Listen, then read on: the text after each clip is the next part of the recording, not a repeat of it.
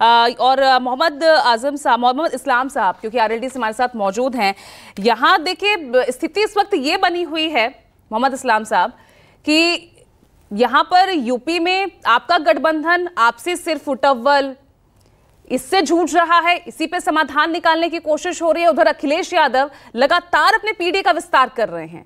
ये जो पीडीए का ए है ना, ये अल्पसंख्यक, आधी आबादी, आदिवासी, इन सबसे बढ़कर अब अगड़ों पर आ गया है।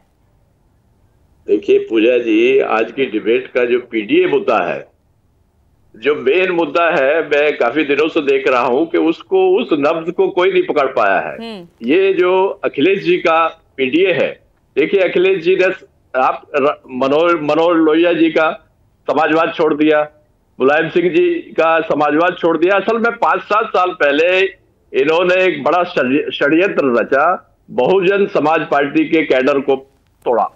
आज मैं ऐसी बात बता रहा हूँ कि इस पर बहस होनी चाहिए। बहुजन समाज पार्टी का कैडर तोड़ा आर के चौधरी को तोड़ा, इंद्रजीत सरोज को तोड़ा रामचल राजभर को तोड़ा, और ये जितने भी इनके आज सलाहकार हैं, और इन सलाहकारों ने इनको बताया कि आप जो है, मुसलमानों को तो अपना बना चुके, जैसे भी बना चुके, उनको दिया कुछ नहीं, झुंझुना देते हैं, जैसे अभी हमारे विधानसभा में दिया है। अभी आप जो है, बहुजन समाज मुद्दा बना लो। आप देखते होंगे कि समाजवादी समाजवाद की बात कम करते हैं अखिलेश जी। बहुजन समाज की बात ज़्यादा करते हैं। तो ये क्या हुआ?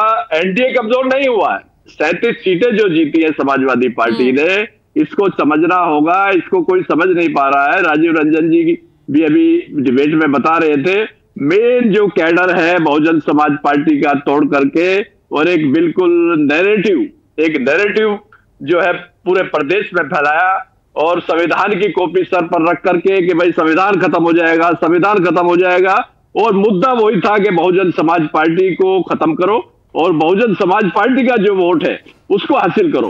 तो ये सैंतीस सीटें जो जीती है एनडीए कमज़ोर नहीं हुआ है। अच्छा। बहुजन समाज पार्टी को कमज़ोर करके और जो काशीराम जी के शिष्य थे जो काशीराम जी ने तैयार किया था एक, एक कैडर को गठबंधन उन्नीस से हाफ़ से भी कम पर आ गया है लेकिन फिर भी आपको ये रियलाइज़ नहीं हो रहा है। हाँ योगी आदित्यनाथ कह रहे हैं कि अति उत्साह से ये प्रदर्शन ऐसा रहा।